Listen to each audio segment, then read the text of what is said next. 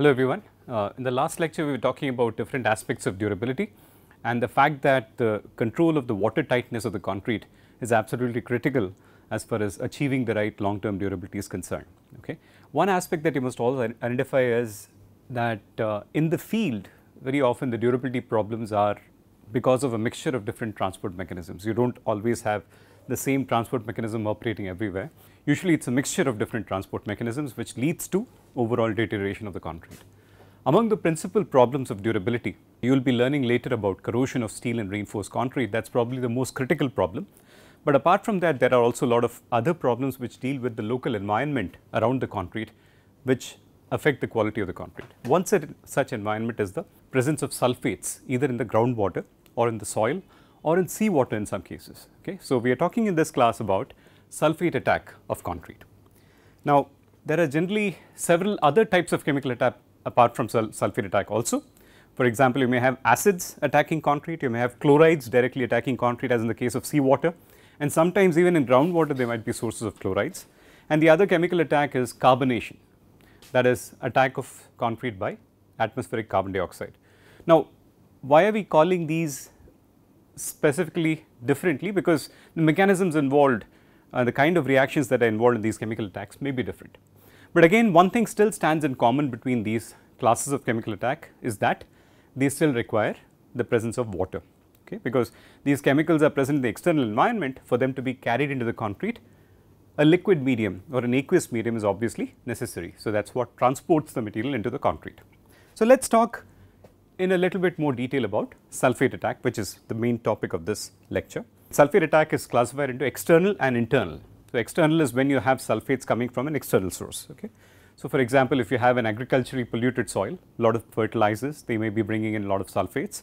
You may have soils which have a rich uh, deposit of gypsum and that gypsum may slowly contribute the sulfate that enters the concrete. Or sometimes even in seawater, there is mixed chloride and sulfate. So, sulfate can also attack the concrete from seawater.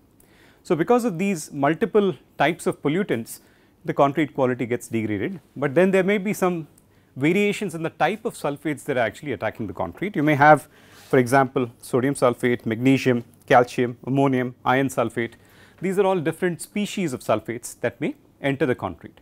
Now, what is interesting is you also need to understand which species is present in the local environment because that dictates the solubility of the material which dictates how much of it will actually get into the concrete because again please remember if it is a solid sulfate in the external environment there is no way it can find a way inside apart from some minor mechanisms like osmosis or for example uh, uh, yeah uh, like osmosis. But in reality when there is groundwater present it can actually dissolve some of these sulfates and carry it into the concrete through the porous structure or the permeable structure of the concrete network.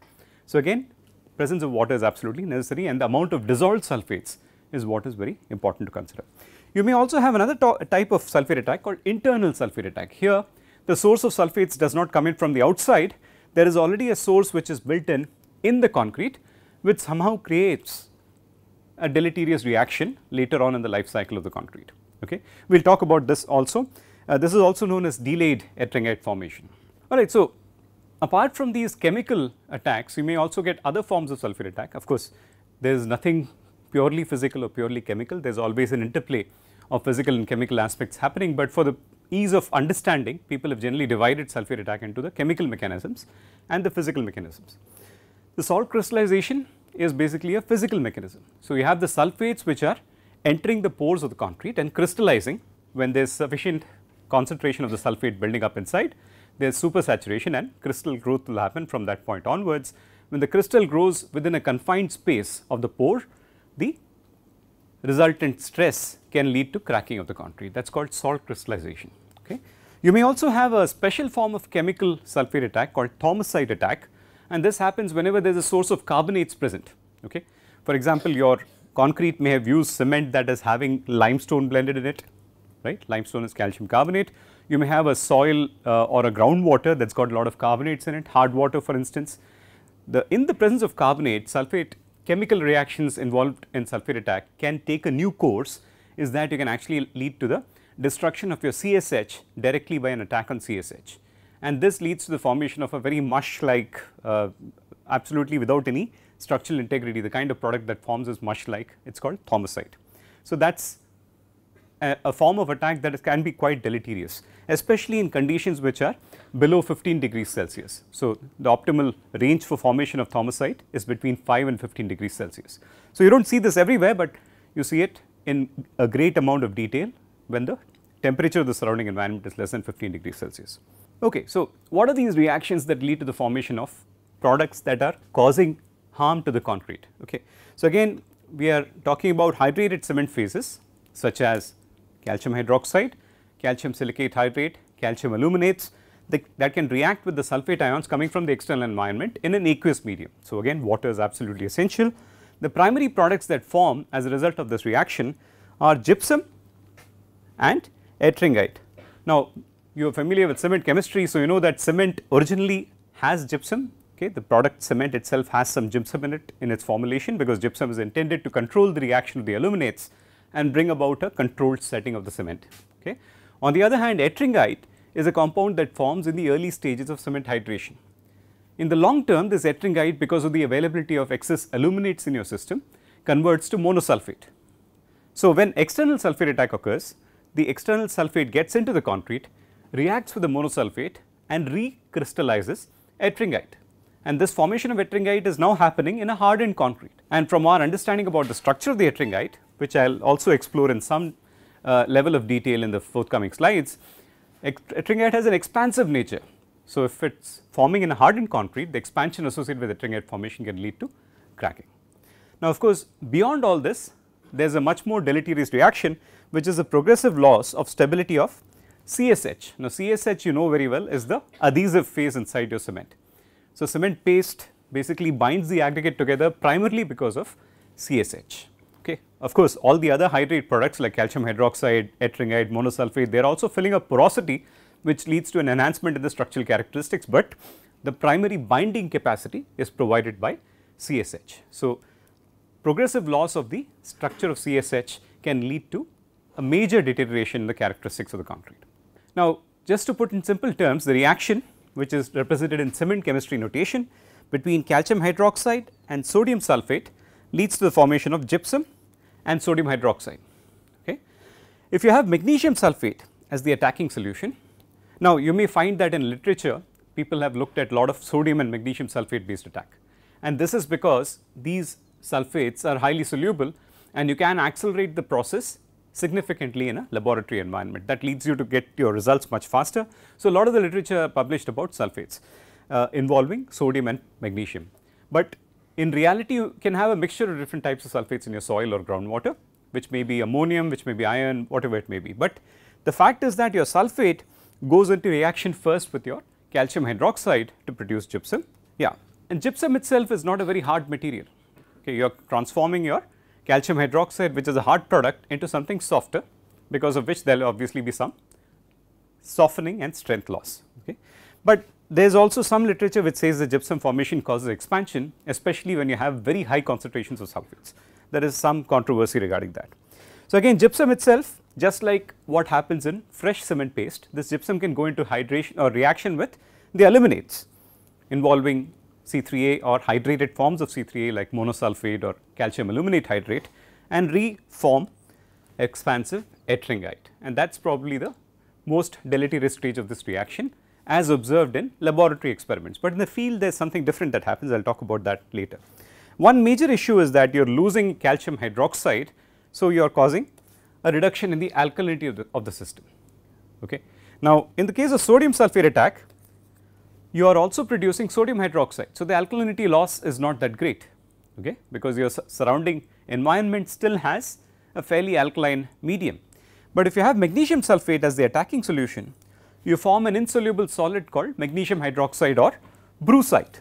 And this brucite because of its nature of insolubility keeps promoting the dissolution of calcium hydroxide. The, this forward reaction involving magnesium sulphate and calcium hydroxide is promoted to such an extent that you can actually lead to a complete removal of calcium hydroxide. So, that means you are going to cause more and more reduction in pH and when a lot of reduction in pH happens your CSH calcium silicate hydrate can start getting decalcified. In other words, it will start losing some calcium from within. In any acidic condition, this is a very common phenomenon that happens is that the calcium to silicon ratio of CSH keeps progressively reducing because calcium wants to come out and provide a high pH environment. Okay. So, the decalcification of CSH happens in this. So, what happens ultimately is your CSH can decalcify and lead to the formation of something like a silica hydrate. Now, silica hydrate does not have the same binding characteristic as your CSH okay. and soon this magnesium which is present as a magnesium hydroxide can combine with the silica hydrate to form what is called magnesium silicate hydrate okay MSH magnesium silicate hydrate and absolutely that is absolutely got no binding characteristic just like your CSH. So, this means that you are getting a complete loss of your cementitious structure at this stage. So, you have several stages one is formation of gypsum then you have formation of ettringite, but slowly but surely you will also get the decalcification of your calcium silicate hydrate whenever any acidic condition is created around the CSH. So, in this study if I used instead of uh, sodium or magnesium sulphate if I use sulfuric acid the reaction will be all that much more faster you will form some gypsum you may or may not form ettringite I will talk later about the fact that ettringite is not very stable in a low pH environment, but because of the low pH conditions your CSH will very soon start getting decalcified and you will lose your cementitious structure very fast. So, you can very quickly dissolve your cement paste in acid. Of course, we use that as a means of determining the amount of cement paste in concrete right? The acid dissolution test provided obviously that your aggregates are siliceous aggregates they do not dissolve in acid whereas cement paste being a calcium silicate hydrate it dissolves easily in acid. Okay. So, what are the modes of failure how does failure manifest itself you have expansions maybe because of gypsum, but mostly because of ettringite that lead to cracking.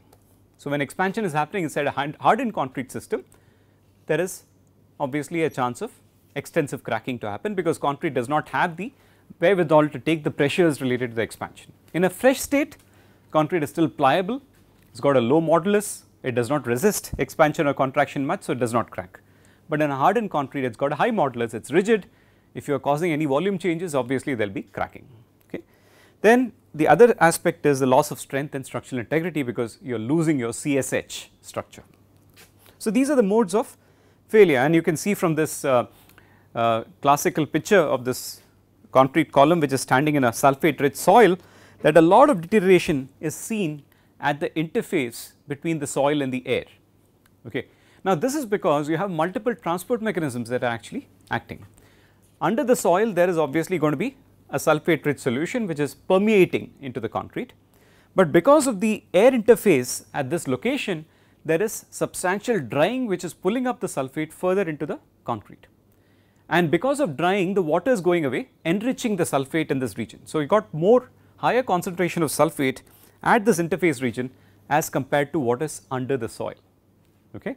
So, you get very high deteriorations whenever you have multiple transport mechanisms involved. For example, if in, even in the lab environment instead of continuous immersion if you do wetting and drying you will ultimately get a larger level of attack we will talk about that later also. So, again another picture you can see the surface deterioration which is happening in the case of sulphate attack.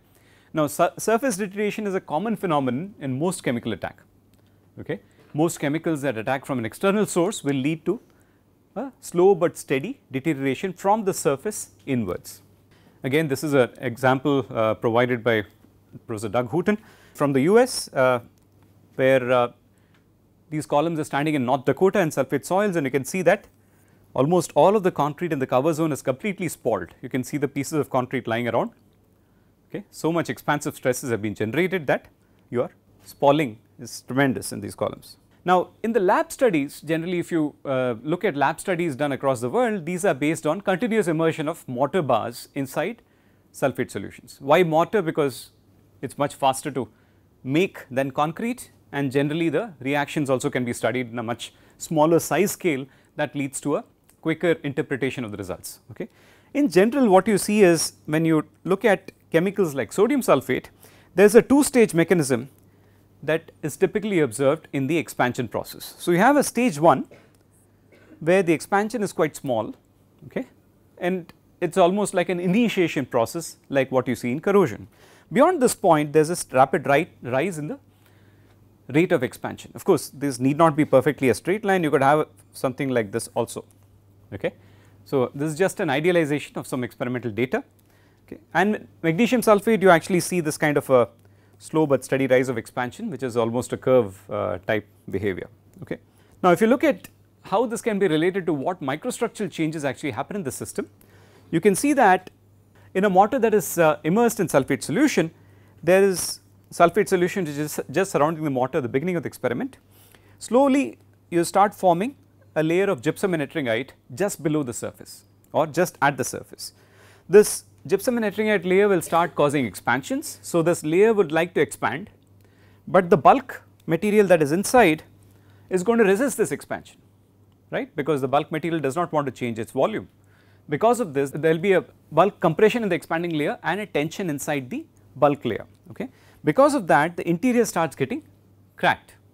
Now with time gypsum and ettringite which are in the outer layers start getting unstable more and more sulphate penetrates and then starts depositing gypsum and ettringite in this cracked interior okay. Now further again this cracked interior will be having the ettringite and gypsum deposition which will lead to again expansion and then further crack the zone right under that okay. So there will be a progressive deposition, expansion and cracking inside and further propagation of your sulphate solution inside. So this is like a 3 stage mechanism that actually is uh, uh, prevailing here and this uh, on the right you see several images that are sort of supporting this evidence. So for example you have a surface zone which seems to be cracked here which seems to have already undergone this problem and you can see that just under the surface zone there is a layer which is full of attack products okay and I have not shown a picture of what happens still further in when you go towards the interior of the system is that there is more cracking in the interior that is because of the resultant tension which is caused by restricting the expansion of this surface zone.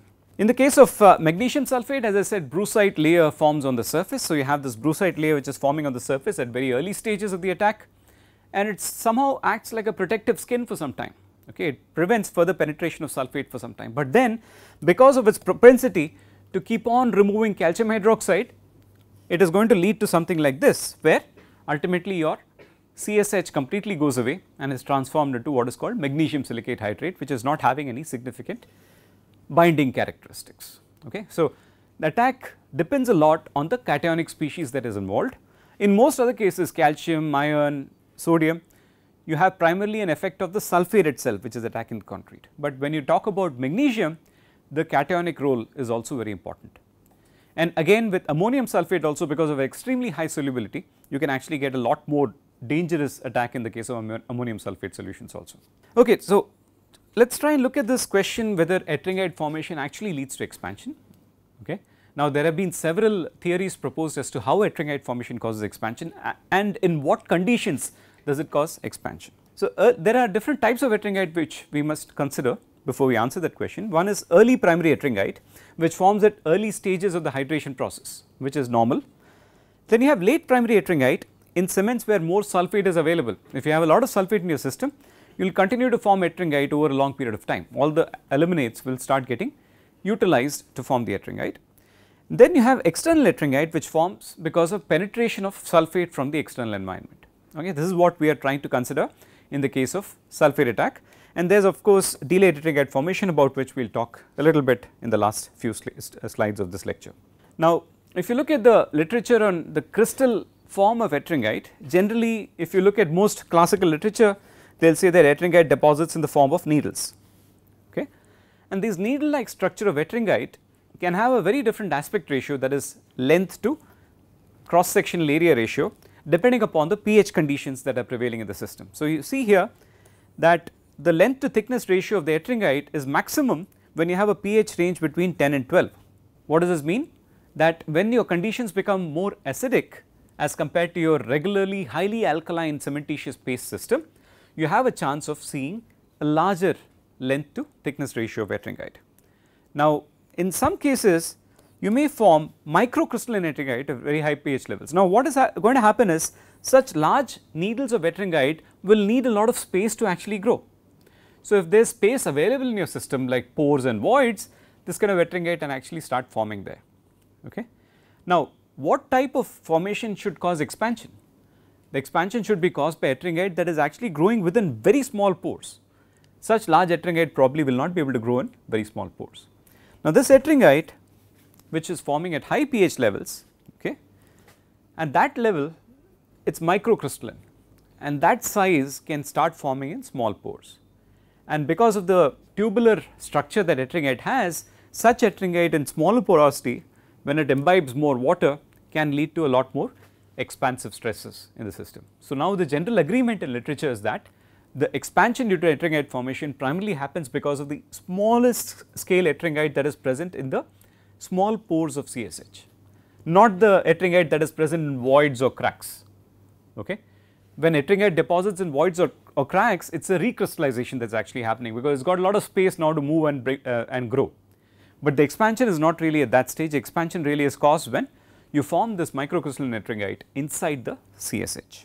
Again as far as stability of ettringite is concerned, the stability domain is restricted to a certain pH. So, for example, in highly acidic solutions like sul sulfuric acid for example, you will probably not have any ettringite unless you go deep into the structure of the concrete. In the surface zones where the acid has already penetrated, you will probably not be able to crystallize ettringite because it is not stable in that domain. So, very few literature has actually reported observing ettringite at pH levels of below 9. Okay. So, in most acidic cases obviously your pHs are going to be dropping much further just like for example when you have carbonation okay one of the common phenomena in carbonation or because of the lowering of the, uh, the alkalinity of the system the ettringite that is present inside the concrete will dissociate and form other products like aluminum hydroxide, gypsum and so on. It is not going to be remaining stable as ettringite because of the low pH conditions. So, again what you need to understand is the formation of ettringite can happen in specific circumstances the stability of ettringite can also happen only in specific circumstances and whether this ettringite leads to expansion or not depends on where this ettringite is actually growing. Okay. So, we are mostly worried about the high pH ranges of ettringite formation where it is actually growing in the extremely minute pores of your cementitious system.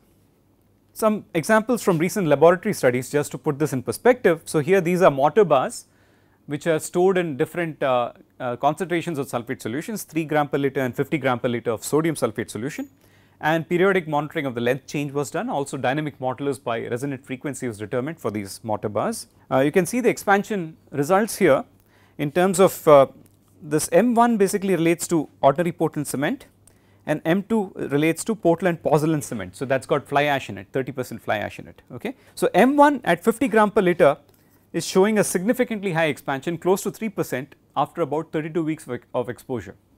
Okay, these are weeks of exposure and then all the other systems seem to have expansions which are much lower than 0.1 percent. Generally a tendency for us to classify uh, concrete as being sulphate resistant is when we do this mortar bar test and find an expansion of less than 0.1 or 0.2 percent that is typically taken as a criteria for sulphate resistance. So, obviously when you are changing OPC to PPC even at the 50 gram per liter solution you have a very low expansion. So, obviously using fly ash leads to sulphate resistance there is no question about that. What happens when you lower the concentration again when you lower the concentration your attack mechanism is such that the there is a significant delay in the process itself okay. Okay this is just the result in uh, dynamic modulus. For mortar prism uh, test of course these are the just the results of percentage expansions uh, in, in the actual numbers okay just to show that at 31 weeks the extent of expansion is less than 0.1 percent in other, th other three cases whereas it is close to 3 percent in the case of 50 gram per liter sulphate solution. Again this is just showing you the rate at which it's uh, the growth is happening. So this is the rate of expansion from 9th to 25th week. In the same time period what we also did was we took the mortar from the expanding prisms and then analyzed the cementitious materials or the crystalline phases that are in the system using quantitative X-ray diffraction. And what you can also see is that in this process there is a steady growth in the amount of ettringite that seems to be forming in the system okay. And uh, if you do a plot between the ettringite content versus the of course this is not a 100 percent uh, correct uh, quantitative estimation because we are only looking at ettringite as a function of the amount of crystalline phases whereas you know that in cementitious systems there is going to be amorphous phases also. So this is a semi quantitative approach to look at whether ettringite formation can be related to expansion or not and the trends do indicate that yes you are getting a fairly significant dependence of expansion on the amount of ettringite that is there in your system. Now, you can also look at your data and uh, sort of uh, forecast what is going to be the behavior in the long term. So, if you look at the 50 gram per liter solution already at uh, 31 weeks it's reached nearly 3 percent. So, there is no forecasting here you have already crossed any possible limit of expansions in this case. But when you do the 3 gram per liter solution you can forecast that your significant expansion of even more than 0.5 will only happen after 100 weeks, weeks of exposure. And please remember these are dealing with small scale prisms in laboratory conditions.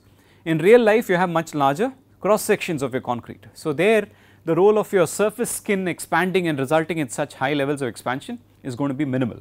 Okay. In real life your actual expansions that you see in the field are going to be much lower as compared to what you see in laboratory conditions.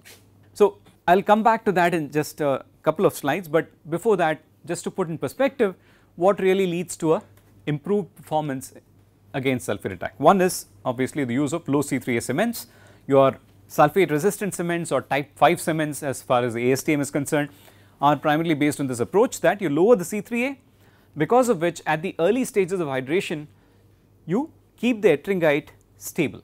The primary formed ettringite if you keep it stable without its conversion into monosulfate okay, that leads to a long term resistance to sulphate attack because this monosulfate is the one which later converts to ettringite.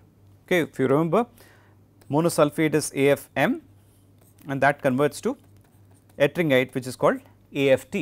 T is trisulfate, ettringite has 3 molecules of sulphate in its structure whereas monosulfate has 1 molecule of sulphate. So, in a regular Portland cement system it is sulphate deficient there is a lot more aluminate than sulphate because of which it leads to the formation of monosulfate in the long run, but this monosulfate has a tendency to convert to ettringite. Now, there are other special cements that could be used like high alumina cement which is not really a Portland cement system and really it is moot to discuss this because it is only used in very specific applications, it is not a general purpose cement. Similarly, super sulphated cement is not something that is in use today because it's shown a lot of problems in long term stability.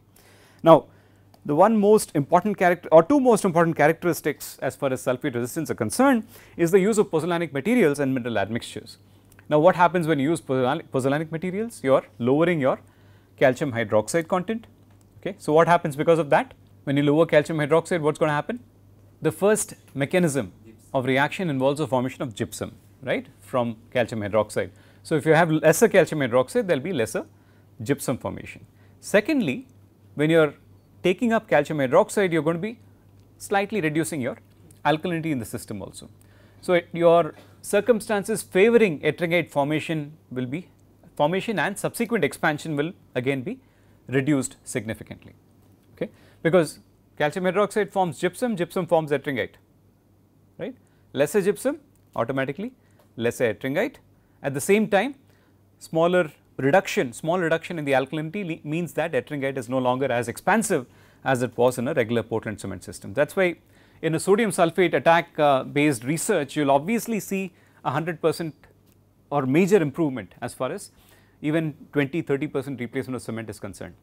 But when you shift to magnesium sulphate or any other attack that leads to acidic conditions, acid attack, carbonation, in any of the acidic conditions, mineral admixtures and pozzolanic materials do not really act very well because of the consumption of calcium hydroxide. Because calcium hydroxide is a very good buffer to have against an acidic medium. If you do not have this calcium hydroxide, you will not be able to resist this acidity of the medium and your CSH is going to be starting to deteriorate much faster when you do not have enough calcium hydroxide in the system, right. So, when you, whenever you have acidic medium like magnesium sulphate or acids, you will ultimately end up deteriorating a concrete much faster when you have pozzolanic materials or admixtures. But all this again comes from laboratory studies. Now, how does it actually relate to the experience in the field? In the field you have larger structures, the role of permeability will be much greater in the field, right. And we know for a fact that when you use metal additives, the permeability of concrete gets reduced significantly. So, that aspect you are not able to somehow capture in the laboratory studies. Because of that you do not really see the same effect that you see in the lab studies in the field conditions. Although technically or theoretically we expect that the resistance should be lowered in acidic conditions when you use pozzolanic materials. Okay.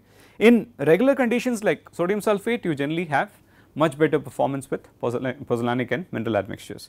And obviously when you use low water cement ratio and result in a good concrete of less permeability, you obviously have a much higher resistance to sulphate attack or resist any, any other form of chemical attack also.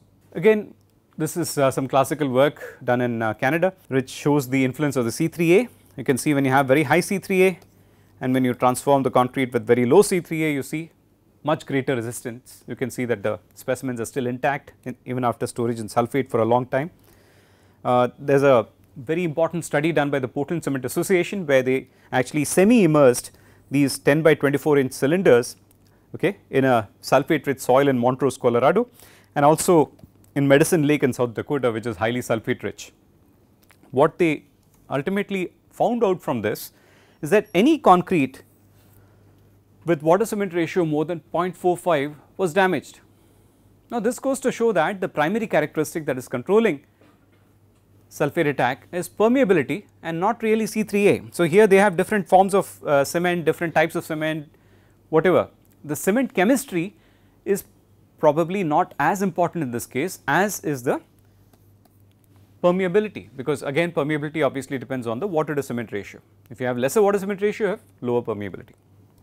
Again the same data was again further analyzed statistically by uh, researchers not too far back in 2003 and they again found that irrespective of the C3A content of your cement, irrespective of C3A content of your cement, if your water cement ratio is less than 0.45, all your concretes were safe. They did not fail at all even after 40 years of exposure. So, this is not something which we are talking about as done in the lab like 40 weeks of exposure, this is 40 years.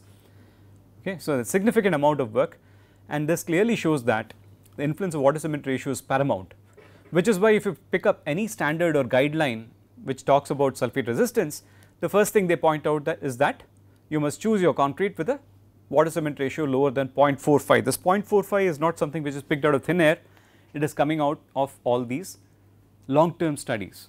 Okay. Again there are cement limits obviously given in various standards, this is ASTM for example, if you look at sulphate resistant cement, uh, it gives a limit of C3A as 5 percent, if you look at the IS codes the limit of C3A for sulphate resistant cement is 4 percent. Okay.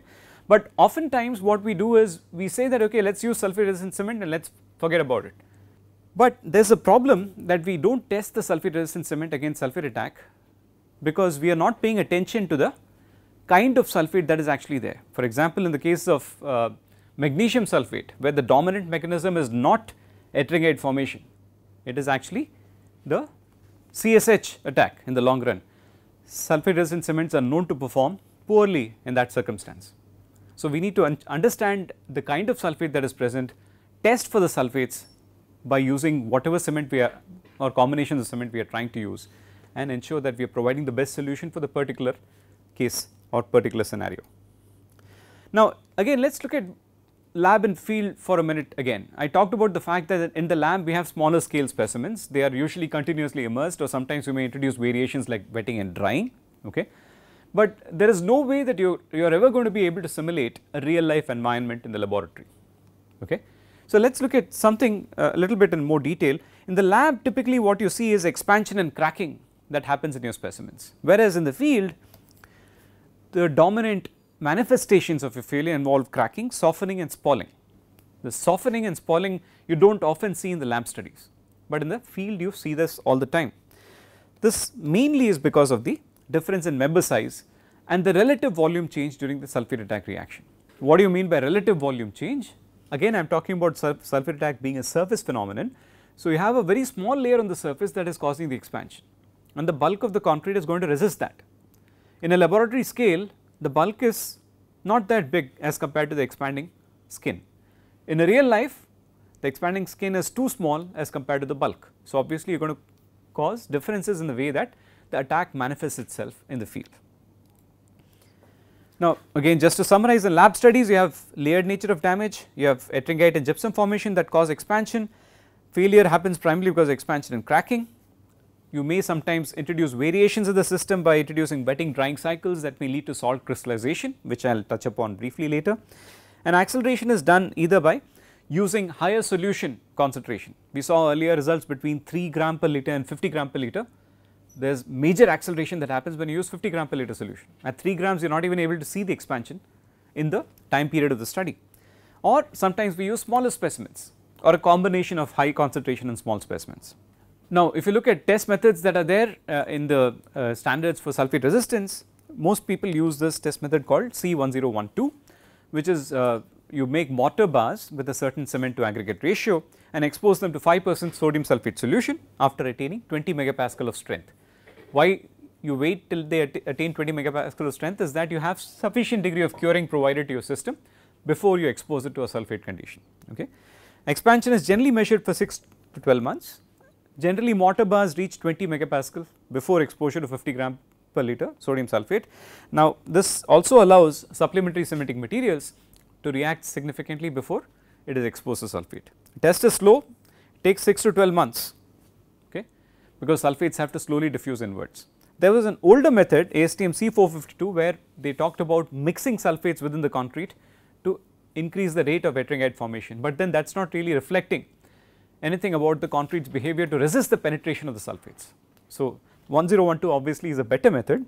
However, in reality what happens is you have a client with who says that he needs a structure that is durable in sulphate environment. The structural designer says okay durability is related to strength like we talked about this in the last lecture.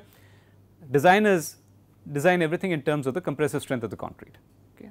They think that durability also is related directly to the strength. So, let us go for high strength and get durability, but that is not really economical because if you need M20 in a particular location you do not want to shoot for M60 just because you have higher durability. You need to ensure that you are getting the same strength, but with an enhanced durability characteristic by an appropriate choice of materials. The concrete, producer says okay let us look at how to optimize material combinations for sulphate durability, choosing the right type of binders, water binder ratio, choice of mix design and so on. The concrete technologist now says that use of performance indicators for sulphate durability is necessary. For example, we can define permeability indices that need to be satisfied by the concrete or more directly we can say that we measure the system as it expands in a sulphate solution and use that as a predictor for the damage. The upshot of all this is that once the data is analyzed by an expert it takes 6 to 12 months to provide an answer right because again if you are looking waiting for this concrete to expand in a sulphate solution it is a slow process. How do you simulate this or how do you simulate other conditions of the field in the lab impossible.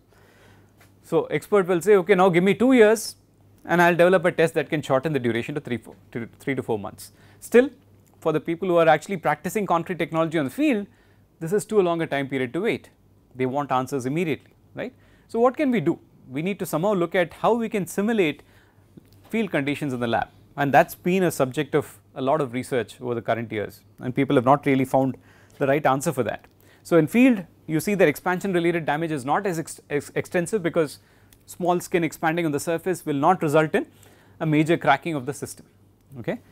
Surface deterioration, loss of cementitious structure or sometimes delamination can actually happen in the systems on the field and generally it is coupled with physical signs of damage from salt crystallization.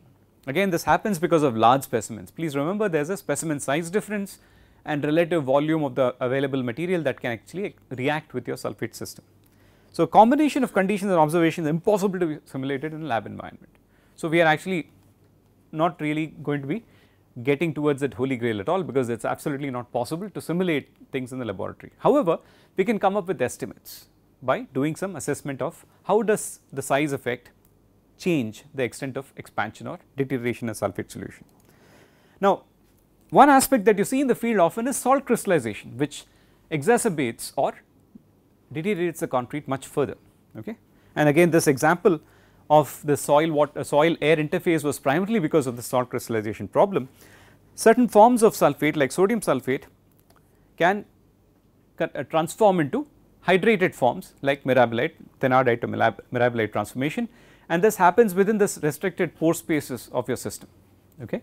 So, there are cycles of wetting and drying which actually in reality happen and because of the cycles of wetting and drying the wetting phase deposits the sulphates inside, the drying phase removes the water and slowly leads to salt crystallization.